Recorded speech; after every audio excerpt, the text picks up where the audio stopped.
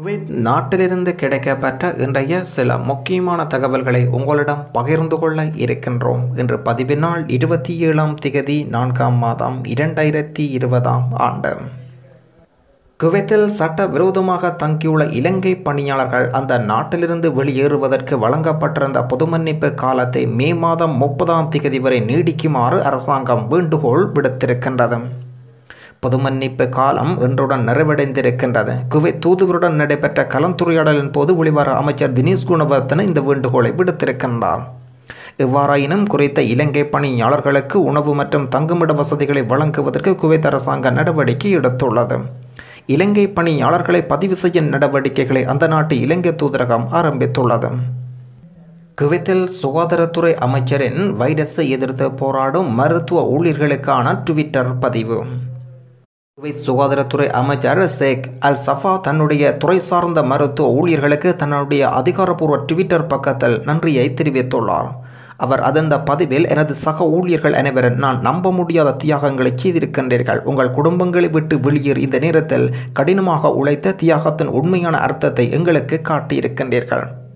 இந்தியர்கள் உள்ளிட்ட அனைத்து சுகாதார ஊழியர்களுக்கும் ஹிந்தி ஆங்கிலம் மற்றும் அரபு மொழிகளில் இந்த செய்தியை அவர் பதிவிட்டிருக்கின்றார். வெளிநாடுகளில் மரணமடையும் இந்தியர்களின் உடல்கள் தாயகம் கொண்டு வருவதில் தடையை மத்திய அரசு நீக்கம் செய்திருக்கின்றது. குவைத்தில் இன்று ரமலான் பிறை. சகர் நேரம் மூன்று நாற்பத்தி ஐந்து இப்தார் ஆறு இருபத்தி ஒன்று. ரமலான் பிறை இன்று நான்காம் நாள்.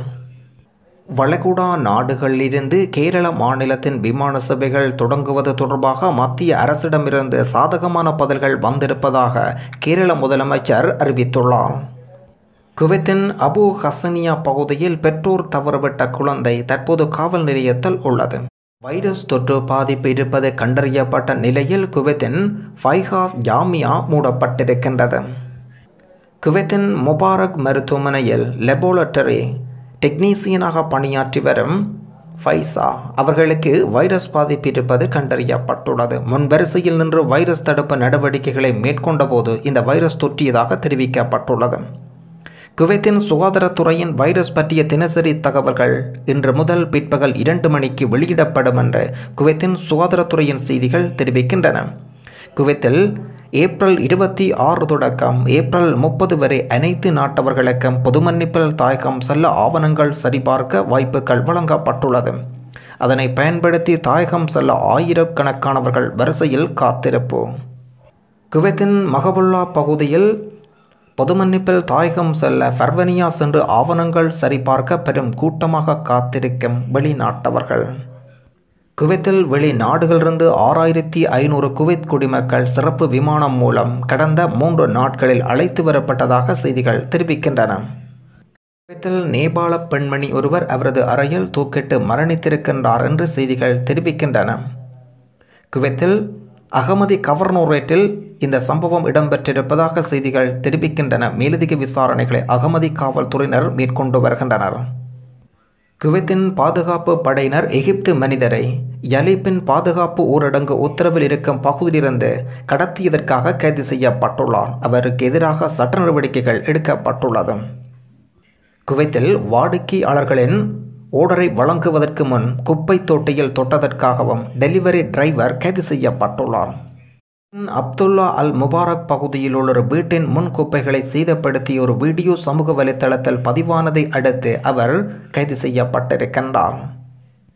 வீட்டு வேலைக்கென்று நியமிக்கப்பட்ட பாடசாலைகளின் எண்ணிக்கையை வைரஸ் தாக்கியிருக்கின்றது சல்மியா கூட்டுறவு சங்கத்தைச் சேர்ந்த ஆறு ஆசிய தொழிலாளர்கள் இந்த பகுதியில் ஒரு பள்ளியில் வசிக்கின்றார்கள் என்று சுகாதார அமைச்சின் செய்திகள் தெரிவிக்கின்றன. அவர்கள் நூற்றி பதினோரு ஊழியர்களாக இருக்கும் பள்ளியில் உள்ள மற்ற தொழிலாளர்களுக்கும் தனிமைப்படுத்தப்பட்டு நடைமுறைகள் பயன்படுத்தப்பட்டுள்ளன. ரொமேத்தியாவில் உள்ள இரண்டு பள்ளிகளில் மூன்று வைரஸ் தொற்று நோயை மருத்துவ குழுக்கள் கண்டுபிடித்திருக்கின்றார்கள். அவைகள் தங்கள் நாட்டுக்கு நாடு கடத்தப்பட இருந்த குடியிருப்பு முறைகளுக்கு இடமளிக்க அர்ப்பணிக்கப்பட்டன என்றும் பாதிக்கப்பட்டவர்களில் ஒருவர் எகிப்து குடியிருப்பாளரைச் சேர்ந்தவர் என்றும் மற்ற இருவர் இந்தியர்கள் என்றும் பாதிக்கப்பட்டவர்கள் தனிமைப்படுத்தி பரிசோதனை நடவடிக்கைகள் எடுக்கப்பட்டுள்ளதாகவும் வட்டார தகவல் தெரிவிக்கின்றன. குவைத்தில் நேற்றைய தினம் மகபுல்லா பகுதியில் நடந்த ஒரு சம்பவம். மகபுல்லாவில் வெளிநாட்டவர் கூட்டம் எச்சரிக்கை செய்தும் கலைந்து செல்லாததனால் வானத்தை நோக்கி அதிகாரிகள் சுட்டனர். குவைத்தின் மகபுல்லா பகுதி தற்போது பரவியுள்ள வைரஸ் பிரச்சினை காரணமாக முழு ஊரடங்கு உத்தரவு விதிக்கப்பட்டுள்ள நிலையில் அந்த பகுதியில் முழுவதும் பாதுகாப்பு வலியத்தில் உள்ளது. இந்த நிலையில் பொது மன்னிப்பை பயன்படுத்தி தாயகம் செல்ல வேண்டும் என்று நூற்றுக்கும் மேற்பட்டவர்கள் வைரஸ் பாதுகாப்பு பொது இடைவெளி எதுவுமின்றி கூட்டமாக முற்றுகையிட்டுக் கொண்டு வாக்குவாதத்தில் ஈடுபட்டனர் என்று அதிகாரிகள் கூறியிருக்கின்றனர். குவைத்தில் இந்தியர்கள் தாயகம் செல்ல ஒயிட் பாஸ்போர்ட் விண்ணப்பித்த நண்பர்களின் கவனத்திற்கு குவைத் அரசு சார்பில் கடந்த ஏப்ரல் ஒன்று தொடக்கம் அறிவிக்கப்பட்ட நடைமுறையில் உள்ள பொது மன்னிப்பை பயன்படுத்தி தாயகம் திரும்புவதற்கு முயற்சி செய்யும் ஆயிரக்கணக்கான ஆவணங்கள் இல்லாத இந்தியர்கள் தற்காலிக பயண ஆவணமான ஒயிட் பாஸ்போர்ட் பெறுவதற்கு குவைத் இந்திய தூதரகம் சார்பில் ஏற்பாடு செய்த சமூக ஆர்வலர்கள் மற்றும் பிரதிநிதி விண்ணப்பத்தை பூர்த்தி செய்து கொடுத்தவர்கள் வரும் நாட்களில் படிப்படியாக அதை நீங்கள் யாரிடம் கொடுத்தீர்களோ அவர்களை தொடர்பு கொண்டு பெற்றுக்கொள்ளலாம் ஒயிட் பாஸ்போர்ட் தயாராகி வரும் முறைக்கு கொஞ்சம் கொஞ்சமாக சம்பந்தப்பட்ட நபர்களுக்கு அந்தந்த இந்தியர்களை கைக்கு எட்டுவதற்கு ஏற்பாடுகள் செய்துள்ளனர் அதிகாரிகள். எனவே நீங்கள் யாரிடம் விண்ணப்பம் வழங்கினீர்களோ அவர்களை தொடர்பு கொள்ளலாம். அல்லது ஒயிட் பாஸ்போர்ட் அவர்கள் கைக்கு வரும் வரை உங்கள் தொடர்பு கொண்டு வழங்குவார்கள். இதற்கு நீங்கள் எந்த காரணம் கொண்டும் தூதரகம் செல்ல வேண்டியது அவசியமில்லை. ஏப்ரல் இருபத்தி ஆறு முதல் மீதமுள்ள அனைத்து நாட்டவர்களுக்கும் தாயகம் திரும்புவதற்கு ஆவணங்கள் சரி செய்ய ஃபர்வனியாவில் ஏற்படுத்தியுள்ள மையங்களுக்கு செல்லலாம் என்றும் அறிவிப்பு வெளியிடப்பட்டுள்ளது. குவைத் நாட்டிலிருந்து கிடைக்கப்பெற்ற இன்றைய சில முக்கியமான தகவல்களை உங்களுடன் பகிர்ந்திருந்தோம். தகவல்கள் மொழியாக்கம் குவைத் தமிழ் பசங்க ஃபேஸ்புக் லைக் பேஜ் அவர்களுக்கும் நன்றிகள். குவைத் பற்றிய செய்திகளை உடனுக்குடன் அறிந்து கொள்வதற்கு எஃப்னா தமிழ் டிவியினை சப்ஸ்கிரைப் பண்ணி பெற்றிருங்கள் நன்றி வணக்கம்.